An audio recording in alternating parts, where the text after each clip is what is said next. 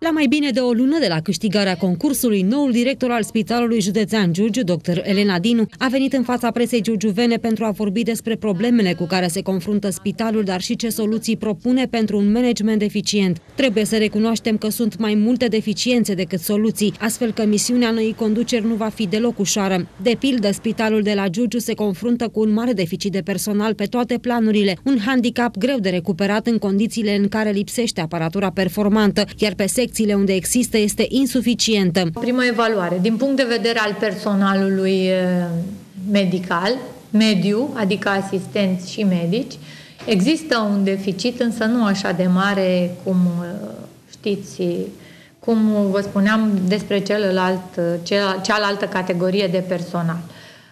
Uh, avem câteva secții foarte puține în care există deficit și o să hotărâm dacă va fi nevoie să facem și acolo demersuri pentru completare. Medici noi am avut mai mulți, au plecat, așa cum știți sau nu știți. Uh, am pierdut foarte mulți medici rezidenți care au avut posturi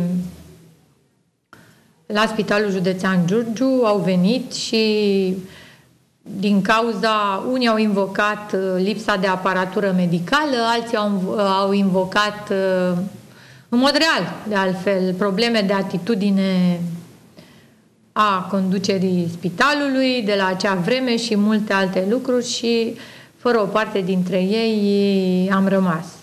Încercăm să facem demersuri și mă să angajăm noi medici, dacă vom reuși, sau măcar pe cei care urmează să vină, pentru că urmează să ne mai vină specialiști la re, ce, dintre cei care au dat concurs de rezidenția pe post, să-i oprim, să oprim la Giurgiu pentru că avem nevoie.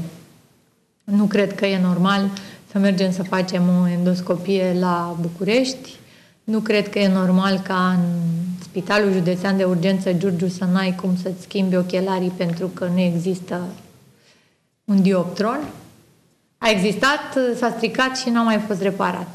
Nu cred de asemenea că e normal ca spitalul să funcționeze cu un singur aparat de radiologie care dacă se strică uh, ajungem ca în vară, că știți și dumneavoastră probabil că ați auzit câteva luni, nu s-a făcut o radiografie în județ. Uh, și atunci sunt lucruri pe care, cu banii pe care avem, cu resursele pe care le avem, um, va trebui să, să le rezolvăm.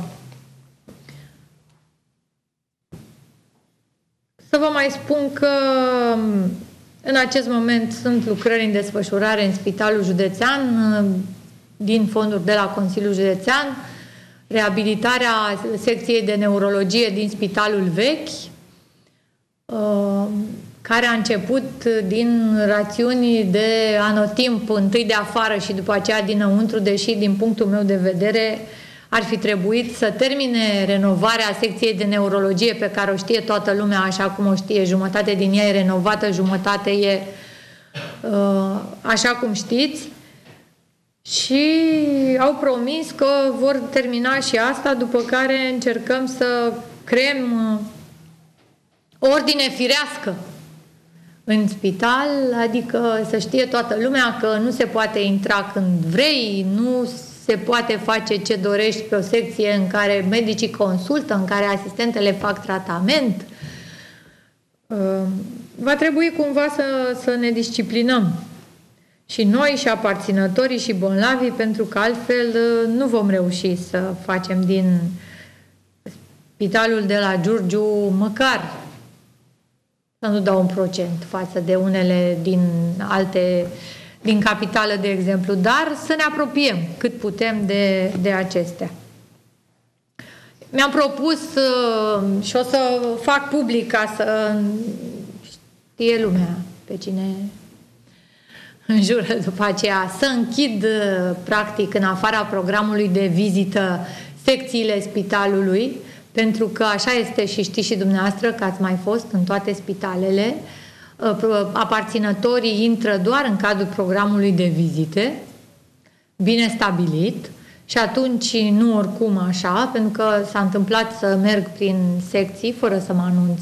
Și să n-am loc să trebuiască să mă dau eu la o parte să treacă cei care veneau în vizită. Și eu și medicii. Îi deranjam din cadrul traficului pe cei care, care veneau. În momentul în care și-am am solicitat și am obținut fonduri de la Consiliul Județean pentru acest lucru, pentru că totul se face cu bani. Eu nu pot să închid o ușă decât dacă asigur un acces cu cartelă, pentru că nu pot să stau cu cheia să deschid fiecărui, fiecare asistență sau fiecărui medic care se duce dintr-o secție în alta. Am făcut această solicitare, am spus pentru ce dorim și iar Consiliul Județean a aprobat în ședința extraordinară de vineri.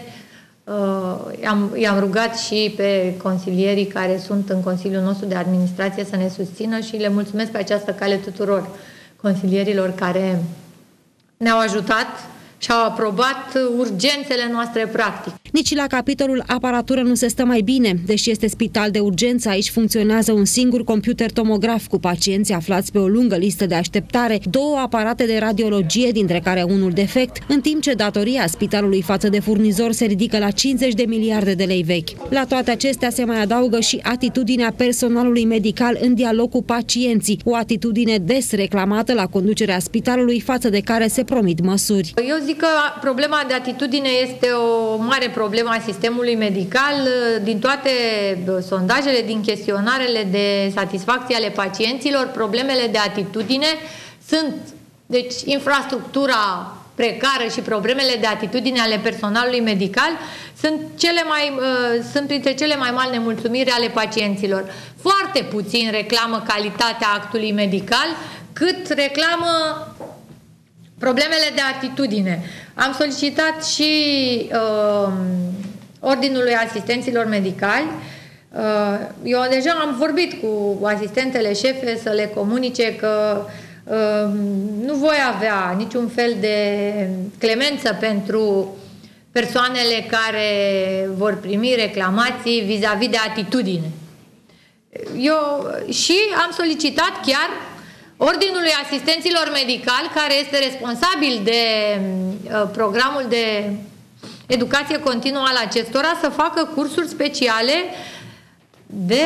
Um, se trăinuiesc și în străinătate pe problema asta uh, asistentele, personalul de îngrijire.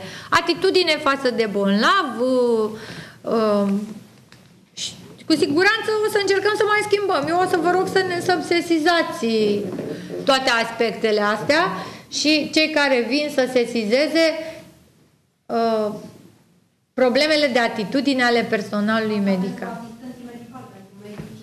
Și pentru medici vă pot să fac același lucru la Colegiul Medicilor. Foarte puțin s-au plâns de atitudinea medicilor, cei mai mulți se plâng de atitudinea personalului auxiliar de îngrijire sau de asistente. Din ce au ajuns la mine, dar toată lumea îmi spune cam același lucru. În ceea ce privește soluțiile noii conduceri pentru a eficientiza unitatea spitalicească de la Giurgiu, s-a început cu modificarea componenței comitetului director al spitalului, scoaterea la concurs a posturilor vacante, realizarea în totalitate a contractului încheiat cu Casa de Asigurări de Sănătate și obținerea de fonduri de la Consiliul Județean și Ministerul Sănătății în vederea modernizării. Până atunci, spitalul trebuie să se descurce cu ceea ce are în prezent.